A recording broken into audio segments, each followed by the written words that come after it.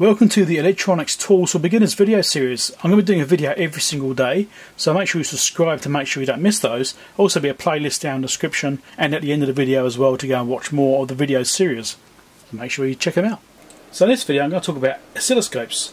I am actually a bit fortunate I've got five or six oscilloscopes, I'm not actually sure. I've got a, a small selection of them, different types. On my bench here I have three set up all the time. I always have three scopes on here probably could get away with just having two.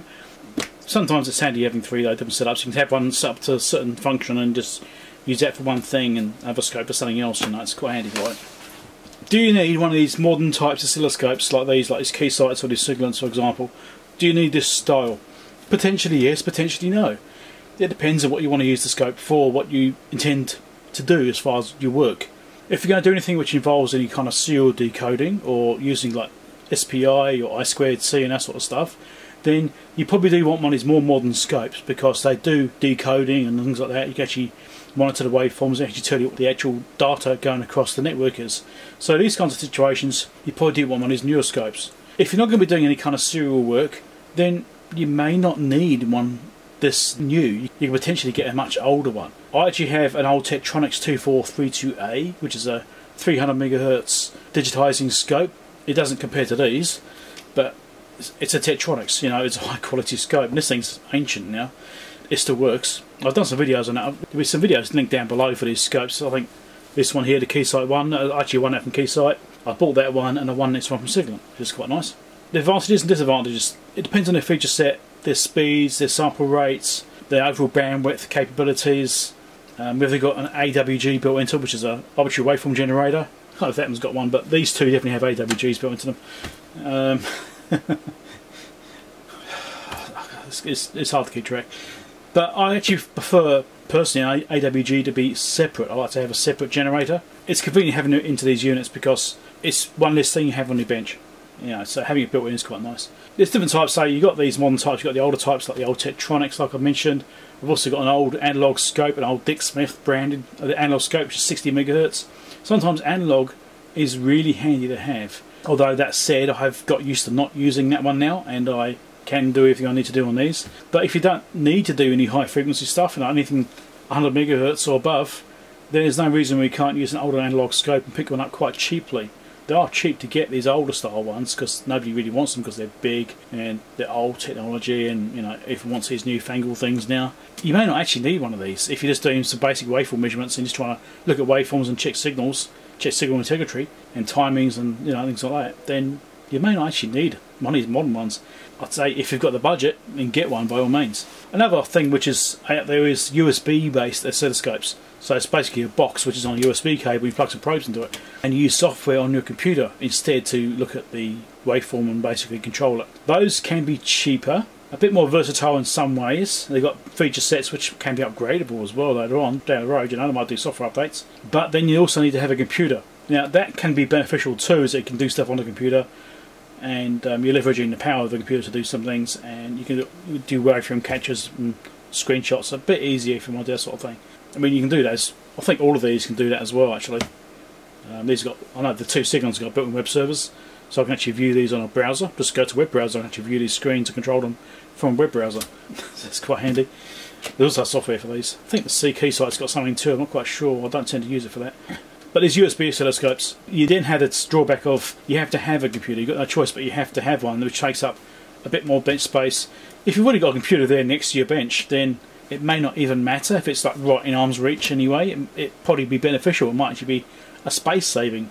But in my case, for me, it's it doesn't suit me.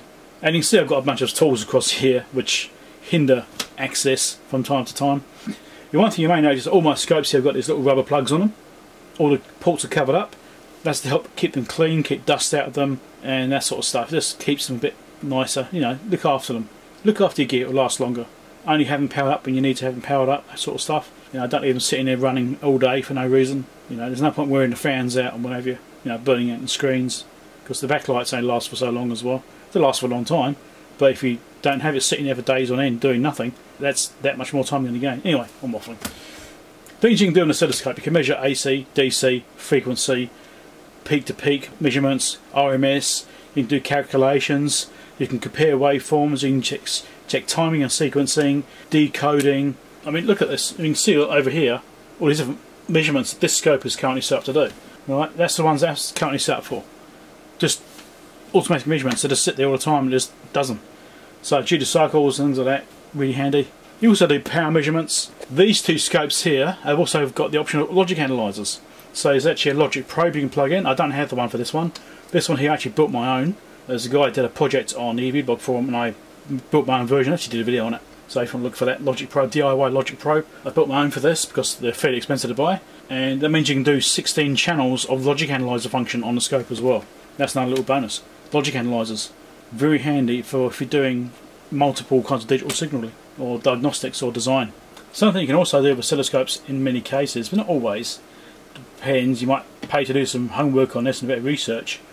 Is sometimes you actually buy a lower model so like a 100 megahertz version, which is what both of these are, both 100 megahertz versions. In fact, so is that. All three of them are 100 megahertz versions. And you can do upgrades to them. So sometimes it's paid upgrades. You can actually buy a license and you can upgrade later on. So if you don't need the full bandwidth, you can get a lower model and buy a license later on.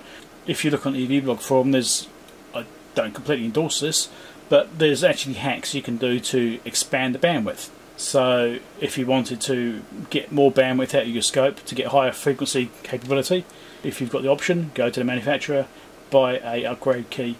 Some cases that's not actually possible, there's no actual upgrade path unless you hack the scope. The first option should always be go and buy an official license and get your scope upgraded legally and officially. It depends on the situations I suppose. These scopes these days are pretty nice in the feature sets they actually have all three of these are built-in frequency counters, for example. And so you can actually get a frequency display. So if you're not too worried about the true accuracy, you know, down to hertz, then the frequency display on these scopes is perfectly adequate. They're perfectly close enough to do most things. If you want to be really fussy about frequency accuracy and get right down to millihertz, stuff like that, then you need a proper frequency counter, a standalone one. And those are fairly easy to get.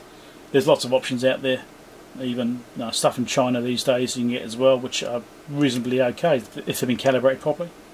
Check out the playlist over here for other things to watch a bit in this video series. Here's your playlist over here, YouTube things you should watch. There's a subscribe link up here which I think you should click on to subscribe and see more of my videos. And over here is a Patreon support link if you feel like doing some donations to the channel and help me to make more videos. And you also get some perks when I do stuff on there too. You later.